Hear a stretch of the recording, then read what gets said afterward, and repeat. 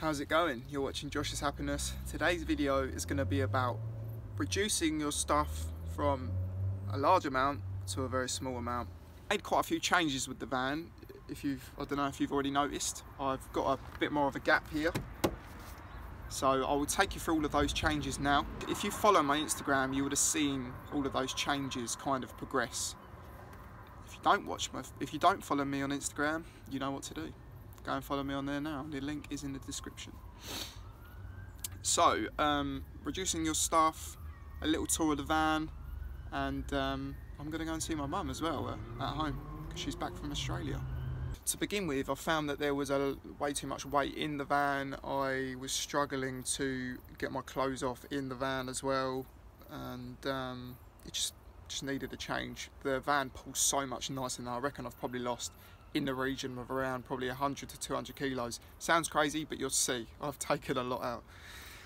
Now to begin with, as you can see, there's a big space in here. That's where I was just sitting. I've reduced this box down and I kind of restructured the bed. So before I had like a full width scaffold board all the way along here. So what I've done is I've ripped that in half. Obviously I've taken a bit of depth out of here. That was like dead space. And this scaffold board here is single on its own. This scaffold board and here I ripped in half. So I've lost one, two, three, four whole scaffold boards and I've lost about what, about four scaffold boards from ripping these in half. There's no there's no supports in the middle now, so I've got more room to store things, as you can probably see down in here. And um, the slats go all the way along now, so they they kind of they weigh a lot less and um, just allow the van to be a lot a lot lighter. It's a bit it's a bit more creaky than it was before, but I'm not really too bothered about that. It, you know, it works a lot better than it did before, and it's a lot less engineered um, than it needed to be. Still over-engineered in comparison to like most people's vans, though. Most people just make their vans out of ply and like softwood. Well, pallet is softwood. Yeah, whatever. So yeah, the um, the cabinet, which we'll be we'll be looking in later because this is where all my clothes live. Yes, believe it or not, that is all my belongings in there, apart from a, like a few things down here. I reduced that down, as you can see, it's a different colour on the end to here, and um, relocated my Camden Town sign from the other side to here. Um, new plant, well, plant in the mix actually. There was no plant before, and um, just a general decor change. You've got the uh, Guinness plaques over there, and um, I've kind of moved some things around a little bit. That mirror used to be over there, I believe, if you uh, haven't stayed up to date. So this is the van in general for the people that haven't seen it before. Um, got a memory foam mattress here, so comfort is almost, uh, sorry, always number one. All of this lot is literally all pallet wood and um, it's just fired with like a fire torch and then polyurethane varnished obviously go and watch my series if you haven't seen it before. All of these light fittings are LED, they're about 8 watt each. And I've got one here. They're fully dimmable as well on on um, on here, so you know there's a nice nice change in lighting depending on what you're doing in here. Cheeky. And um, these uh, these actually 230 volts, these lights, and I'll show you that in a minute. And then these little fairy lights, these are all 12 volt and they also double up as like cabin lights when I'm in the front so that's pretty handy as well. Right I'll take you around the side so if I just show you under here I've got like a couple of boxes here like storage. Um, this is all my what like dirty washing spare wheel because the van's like seriously low now because I like like the lowered kind of look.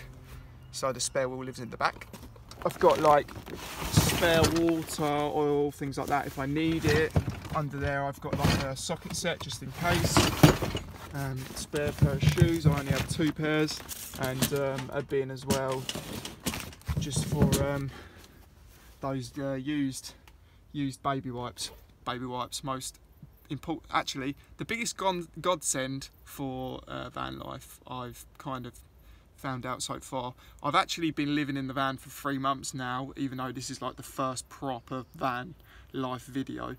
Um, but you'll see that on my Instagram if you follow me on there. So go and go and go and follow me. Basically, just go and follow me on Instagram if you don't if you don't already. And um, yeah, I think that's pretty much it here. before I just show you the side of the van. So this is the van.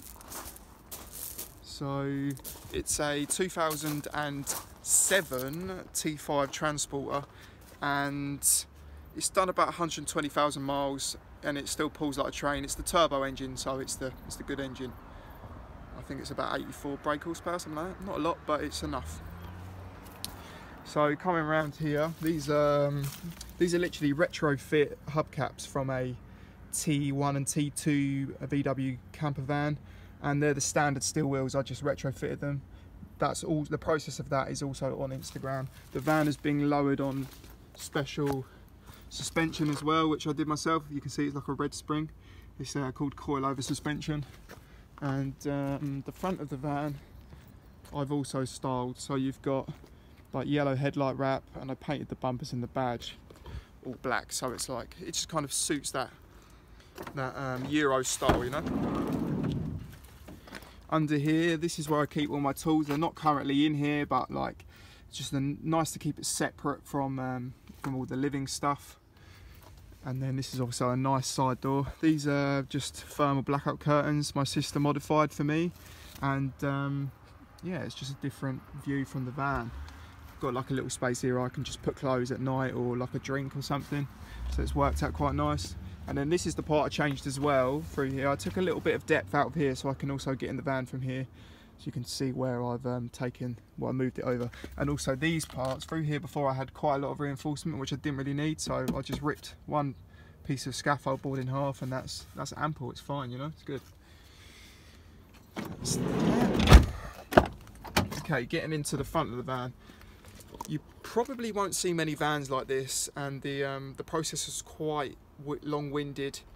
I um, parkoured the front through here. This is all just to reclaimed wood. It's slightly thinner than pallets, but you know it works as well. And then I've done all the door shuts as well. And then this um, seat box that the seats are mounted on, I custom made myself out of metal. And these seats are out of a 2005 Mercedes Benz, and they're fully electric, fully heated and um, leather so easy to clean and nice and buckety as well you know they hold you in there nice and comfortable for those long journeys up on the top here we have um, skateboard sun visors if you watch Fun for Louis, you might have seen in the tour if he did uh, the tour he did of my van. I'll put the link in the description if you want to watch that, and you'll also be able to see his hot tub bus that we built for him. And there used to be a centre console here, but unnecessary weight. I didn't really use it so I thought I'd take it out. And um, these all just still come out so I can get to the important control boxes underneath there. You have a kid size skateboard um, the same size as these kids skateboards, sun visors. And um, I modified it to make it look like a surfboard. Works really well. This is like the mini little control panel. Uh, here you have the um, battery monitor don't know if you can actually see it will tell you like the voltage and then the, the percentage of the battery as well. So it never really drops below about 86% which is quite good. And that's a completely different battery. You've got the 230 volt inverter power through here and then that's the solar panel monitor and then these do the little cabin lights here this one here. So under this seat here is all of the electrical system. So we have 110 amp hour uh, deep discharge battery AGM is called absorbed glass mat so it's sealed it doesn't give off a gas. 600 watt inverter. I actually need to change this because it's not pure sine wave so it kind of makes my MacBook charger get a little bit hot and um, I'm a bit worried about that. So I'm going to get a pure sine wave and it's closer to like a house. Got these and the solar panel controller which I think I already said anyway. But yeah that just makes sure that it um, doesn't overcharge the battery very clever stuff. Also have a split charge system, so it will charge on the uh, engine of the van when you're driving up the road, which is really handy as well. So um, never really run out of power to be honest. It's always good. You can kind of pretty much leave all of the lights on all day, so that's perfect for like shows and stuff, showing off the van, because you can just leave it on, uh, go away from the van, and everybody can enjoy what you've done. You know your art. And then up on here there is my solar panel so that is 90 amp hours and that's enough that's enough for um, that battery to stay charged so before I had like a roof rack up here but unnecessary weight and drag. I think it. I think it had drag when I was driving, so getting rid of that was a, you know, a, a pretty big fuel economy saver. Eating arrangements, no cooking accessories in the van, no water system. Basically, just do all that as I did before, but I eat out instead of eating in now. Uh, pretty easy, pretty pretty good go grab and go market in the UK.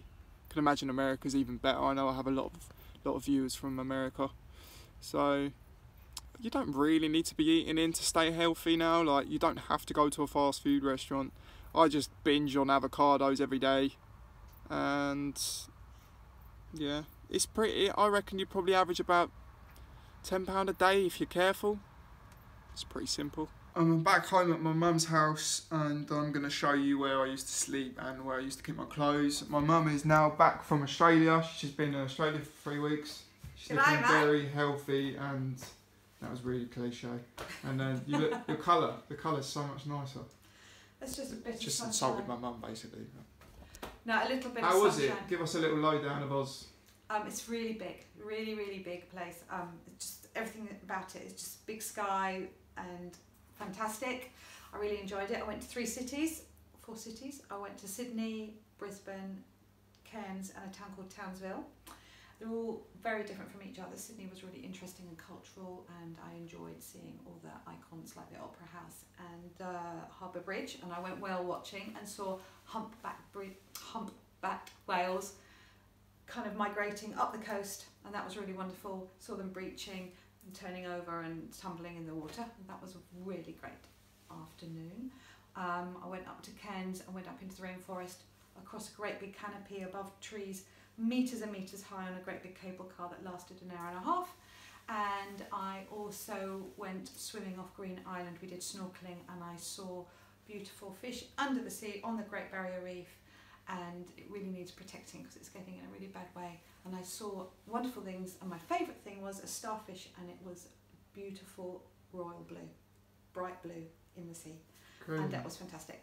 Apart from that, just really great. Just everything was just wonderful. Brisbane's a lovely little city and very friendly, and uh, everyone's very friendly, multicultured. Um, just a really good time, but very very hot, which is Very coming hot. into the spring. So I enjoyed that. Great. Thank you for asking. And that's why you should travel to see different things, different cultures. I've actually been to Australia twice, but I've never done. I didn't do that much, so that's looks like I need to go again, doesn't it? Mm-hmm. Thanks, Mum. You're welcome. Got uh, something lovely and I thought you'd really like it. And it's a special little purse. And what it's made of is made from the scrotum of a kangaroo. How useful is that? There you are. I'm not going to sniff it, but if you can imagine someone's plums, authentic, real kangaroo scrotum. Because that's the kind of thing you bring back your boy from your holidays. Okay, so. Ooh. okay, right upstairs. So this is my mum's house. Just uh, this is our new bathroom. So, some electrics I've done for her last week before she got back. So some down lights, and then um, move the light switch from over there. Nice um, overhead shower. It's kind of got like this weird system where um, this is wireless. So, more money than I've got to spend at least. Nice uh, little blue unit in that there. But anyway, yeah, what we were on to, what we were mainly going to be doing here. So, I was in here for a little while, um, and I had like a chest of drawers here. I think my sister's moving home again because it's got the housing crisis is so bad. It's just impossible. It's to get a deposit together to buy a house. Renting would be the same. Is pretty much the same money as what it would cost you to to um, be paying off a mortgage. So what do you do? I, I mean, I recommend build a van or whatever. But you know, if you've got lots of stuff and you've got kids and stuff, it just really you can't really. There isn't enough legal that can allow you to live in a bus without getting constant hassle from the authorities, etc. So it's ridiculous. I don't know what the government are even doing. Don't know, they're just puppeteers. I don't think they really know what they're talking about about the real world, you know. Anyway, like I was in here for a little while when I had my clothes in a chest of drawers, and then I started travelling. Actually, started travelling before here, so I had um, we had a house a bit further up the road, which was smaller than this. It was like a flat, so I had more clothes than I'd be able to get into a van, basically. The probably the equivalent to four people's worth of clothes than I have now. So from this room, my sister moved home, so I immediately went into the little box room. Are you ready for this? So this is the box room that I was in. So this is actually the room I was in when I started YouTube about a year ago. Um, I started trying to make vlog vlog videos, and then I made a video. I made a series on Louis' bus build, the Fun for Louis bus build a few complications with that. I had it all live and stuff. Many of you come over from those videos actually, um, and from Louis' YouTube channel. Thank you very much for staying. If you did, if you were one of those people. Um, a few complications with that bus build. A few things went wrong with it, etc. Nothing on my behalf, but like the whole build process. And um, it ended up being rebuilt by the company that I now work for, Shred and Butter. That's where we were storing the bus and Jim there um, said to me, "Why don't you work? Come and like do some subcontracting work for me." He said, "I like your work." I was like, "Thanks." So I am. Pays well, pays on time. So um, yeah. Anyway, I was in this room when all of that was going on, and um, as you can see now, it's kind of like a cross between like a makeup room for my mum and um, that was my mattress. That was the mattress, and I, it was on the floor there, and um, I didn't I didn't really need a lot of space. I had my laptop in here. I had like a little radio thing, stereo. I like my music. I don't really watch a lot of television, especially now I'm in a van. I don't watch any television. I very rarely watch YouTube now as well. Actually, probably only watch maybe two hours a week, if that, maybe an hour. Um, I'm so busy. I don't know where my hours go. I think it's just procrastination. It's scrolling through Facebook. I need to. If anybody knows how I can beat that, please uh, let me know in the comments. So this is the airing cupboard, of course. I kind of said to myself, I'm going to try and restrict my clothes to the bottom two shelves. Obviously, there's a new cylinder stat, uh, cylinder in here, so the shelves were a little bit deeper. But there was enough for me to get all of my trousers. I had all of my good clothes here, like my nice clothes, trousers and t-shirts. Then I had like all of my underwear and um, had all like my jumpers and stuff here. I limited all my stuff to these shelves. How did I get to that point though? That's the interesting one. So, yeah, let's sit down here. So, how did I get to that point? To begin with, I went travelling in Thailand and that was the first proper bit of travelling I did in 2013. 2013 was like my blanket year of travel.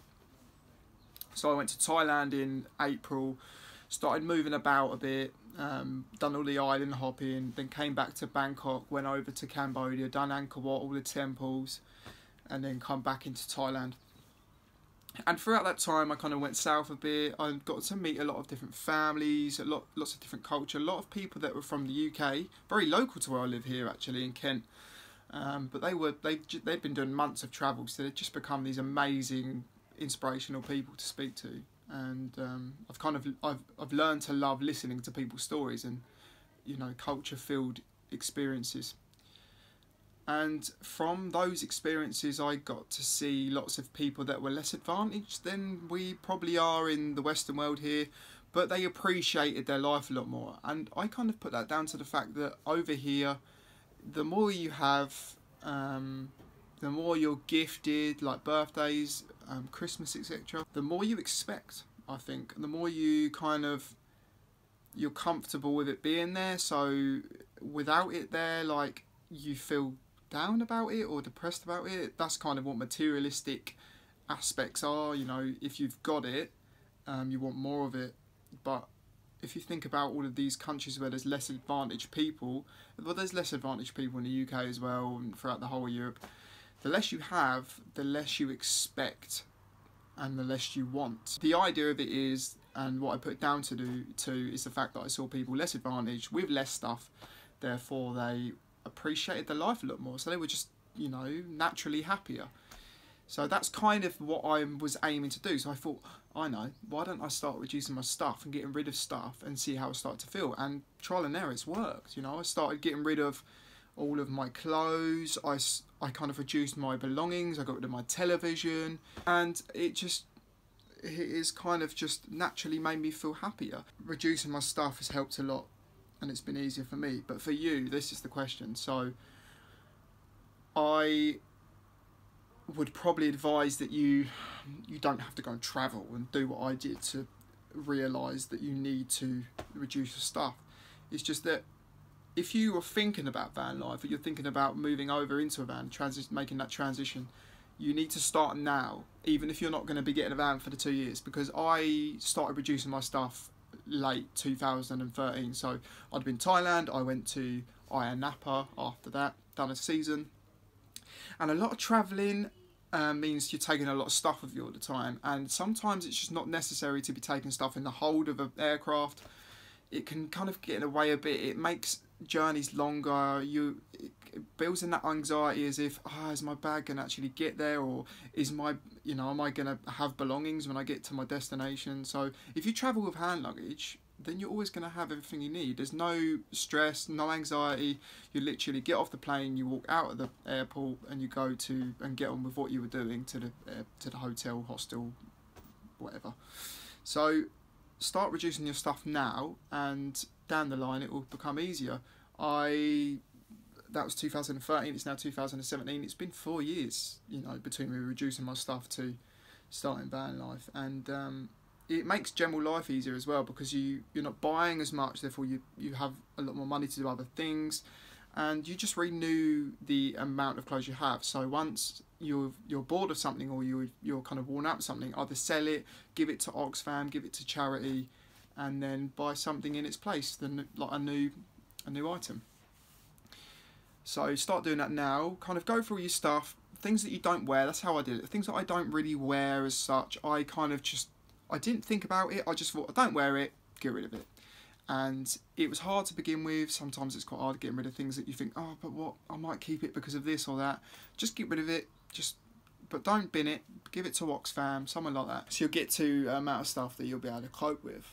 Transitioning over again. So from maybe it just being a simple amount of stuff that you can travel with, you'll now have a a, an amount of stuff that you can cope with, and it's going to be easier for you to build a van, kit a van out, and go right. That's it. I'm done. Give up your house, sell your house or whatever. You know, give your notice in for the rent. Put all your stuff in your van. Off you go. It's just unnecessary, and you don't need all that stuff. You'll never ever wear all of your clothes. You'd probably take you six months to wear all of the clothes in your in your wardrobe anyway, wouldn't it? So just reduce it down. People people people don't care what you're wearing. Like, if you think that you're gonna, if you think that people are gonna judge you on what you're wearing, then those people aren't even worth knowing anyway. You know, so it doesn't matter that you might wear the same pair of jeans two days in a row. It doesn't matter that you might wear the same clothes on a cycle for you know every Wednesday every week. Alternate it, change it around. Your wardrobe doesn't need to be that big because it's not about what you're wearing. It's not really. You can still be fashionable. I'm still fairly fashionable. It's not really about what you're wearing, it's about what your life's about. Where's your happiness coming from? And if your happiness is coming from things like clothes and fashion, it's, it's a little bit materialistic, but there's nothing wrong with that. There's nothing wrong with being materialistic. Obviously, I have, I'm really into drift cars and having cars. They're an item. It's pretty materialistic, but it's the fix of the motorsport. You know, going out and doing the drifting, which makes it worthwhile. So obviously, if you like going and doing fashion walks and stuff, that's your fix, that's your happiness, that's cool. But even then, you know, get rid of one outfit, buy a new one. Pretty simple. Now you might find might have found that a little bit boring or a little bit um, over the top, but I'll show you what's in my van, and then that should technically or hopefully make it a little bit easier to understand. Well, that was a nice little reunion with my mum. Well, really a reunion. She only went for like three weeks, but got my um, got my boomerang and uh, got me got me bowl sack. Put them on the wall in the van. That'd be nice, wouldn't it? Start getting a little memorabilia wall going. I think I might um, I think I might get rid of the Guinness the Guinness plaques. not really feeling them. I'm gonna get something different, something that's not branded, you know. I think, and then maybe. Oh, by the way, if you're a brand and you want to sponsor my videos, come on, hit me up. I'm I'm skin, skin. I want to travel. I want to move about. Uh, but I have no money to do so, and even when I earn the money to do so, I seem to still be paying off debt. So, if you're a brand, please hit me up. I'm sure we can uh, work something out. Okay. So it's nice to kind of have a bit more space in here now. I can move about a bit. I can just, you know, there before there was only like a gap like this big here, so it was a bit of a pain in the trying to put things into the bin, stuff like that. So like trial and error of doing and living um, van life.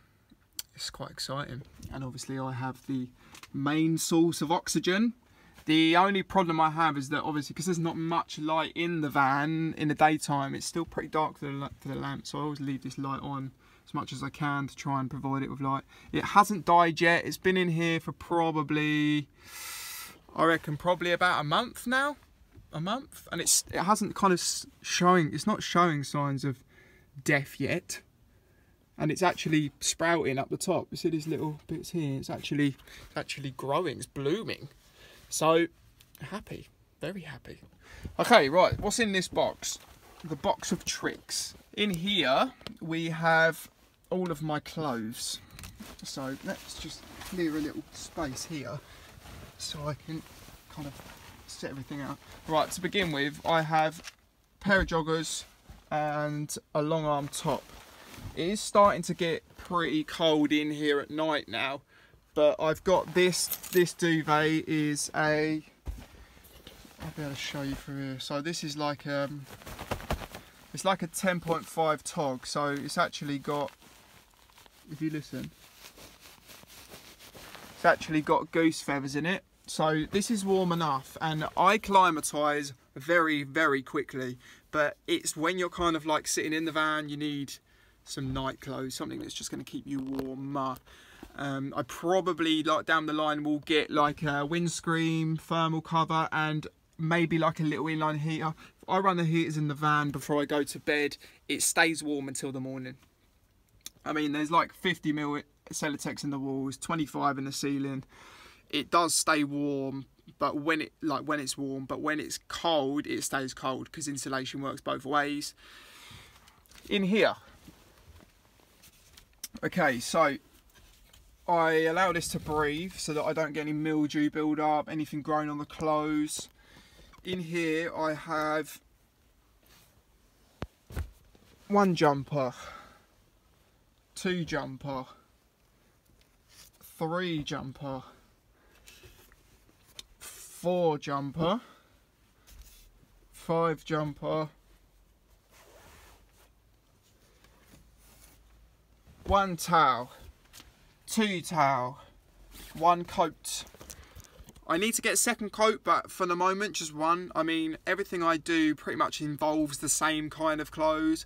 I work in cars, I do electrical work. I don't really need nice clothes. I don't go out anymore. I've done all of that in Ayia Napa. I've done all of that when I was a bit younger. I'm only 25, but I've kind of got that out of the way. I don't really do the partying anymore. I'm on to kind of more happiness building rather than getting pissed and just wishing I didn't drink so much alcohol. So yeah, the hangovers aren't a big part of my life anymore, so that's a good thing. But yeah, I do like a Guinness. What else we got? Underwear times one, two, three. I think I've got six pairs of those. So I'm wearing a pair. There's probably two in the wash. Down in here, you've got a few bits. I think I've got like, yeah, one jumper, um, like some socks. Um, what else we got in here? We got like a t-shirt, and I think there's a pair of jeans in here. Yeah, there's a pair, one pair of trousers. So we've got all that lot. Just throw that down for now. Um, moisturiser. The reason I use this moisturiser is because it's starting to get near winter. I get quite bad dermatitis, and of course, moisturising the tattoos, make sure they stay kind of like good probably get a couple more pairs of trousers for the winter, but that means I'll probably get rid of a few pairs of shorts to make up the space of that. The idea is kind of like grouping out pieces of clothes to group in other pieces of clothes. You don't really want to be having any more than what you can cope. So if you're going to get rid of some, um, sorry, if you're going to buy some more, get rid of some. Therefore, you're not ending up with too many. You can't wear all your clothes at once, and I'd probably average it on maybe two weeks worth of clothes, um, and then you can go to a laundrette, wash them, and then you know work through it. Things like trousers you can wear more than once jumpers you can more, wear more than once. You'll, I find that I wear a lot of my jumpers without a t-shirt as well, and I mean like one jumper and a coat is enough for like cold days anyway. I mean especially me when I'm working because I'm staying warm. If you're female, I mean, a lot. Uh, there'll probably be a lot of girls in the in the comments that say, "Oh yeah, but girls need more clothes in this manner and that manner." But if you think about it, a lot of girls' clothes are smaller, or um, like especially tops and stuff, they're smaller than like a guy's extra large jumper. So it kind of works in proportion to space. You know, you won't really technically have any more clothing than I have. Um, but yeah. So from here I mean, every day doesn't have to be an accessory. Uh, accessory. Every day doesn't have to be a fashion walk, but I mean, I keep it. I keep it pretty branded. I mean, most of my clothes are brand names, and everything's pretty stylish. You know, it's not silly. It's not like knockoff brands or anything. Um, so we have two two pairs of linen. So we've got a cover. There's another um, pillowcase there, and another du duvet cover as well socks wise, I have more socks than I need. One, two, three, four, five, six. Probably about four days worth in there. Seven. Another pair. So shorts, we have one, two, three, four. And I think that's it on the shorts. Four pairs of shorts. And then I have lots of swim shorts. I don't get rid of these swim shorts because swim shorts they do work as another layer. They keep you warm as well because obviously they're quite um, well woven material. And if at any point I do go away, maybe next year in the summer for a few months, I've got lots of swim shorts. So it's worth keeping clothes that don't really take up a lot of space. But I mean, if you don't need them and you don't really wear them, there's no point in keeping them. But obviously, my six pairs of swim shorts or whatever um, are an exception to that. And another pair of socks.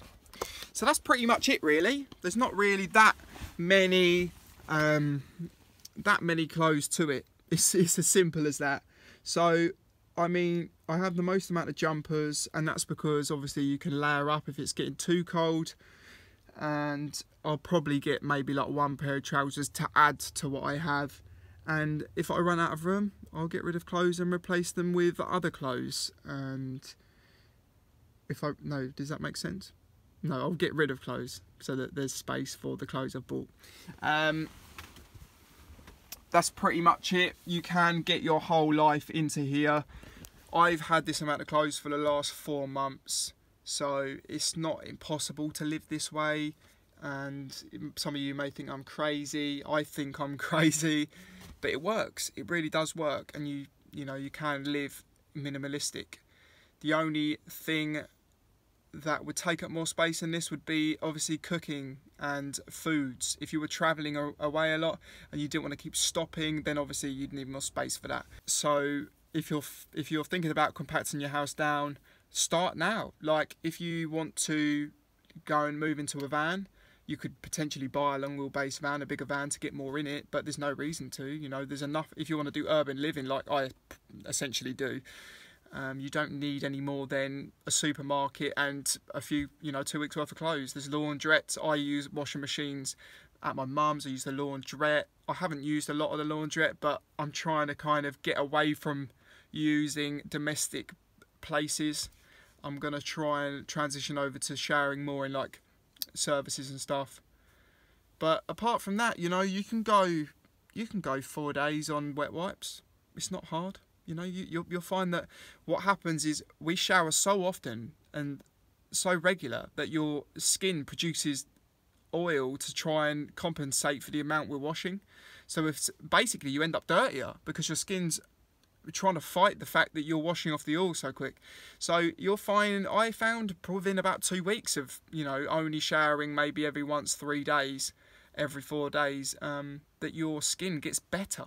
And my, I had a lot of spots on my back. They're gone. I don't have any spots on my back now. Very rarely get a few spots on my face now. I used to have really bad acne when I was, I was a teenager. Um, I feel genuinely healthier. I feel that we've broken the system a bit. You know, the whole kind of um, society, kind of um, Western world is overkill. It's overkill. We don't. You, we we've kind of gone beyond our needs, and we've made it too complicated. It's over-engineered, you know. So yeah, that's pretty much it in today's video. To be honest, there's not really any more to it. I'm going to put all my clothes away again, um, which will take me all of about two minutes. Yeah, happy, very happy, very um, very humbled by everybody's love for my channel and thank you very much for any feedback. So thank you very much for watching. My name's Josh Ovenden. You're watching Josh's Happiness and I'll see you shortly. Oh, a little PS. I know I said I only had six pairs of uh, underwear. It's okay to wear underwear for more than one day, you know. Well, I think your limit's probably two days, otherwise that's a little bit manky. But after that, within two weeks, if you run out, it's okay to go commando and all. What's wrong with that? There's nothing wrong with it. Roman gypsies have been doing it for a very, very long time. And um, it's the only society that says it's wrong to wear underwear for more than one day. So, you know, don't listen to what people say because half of it's never true. See you later.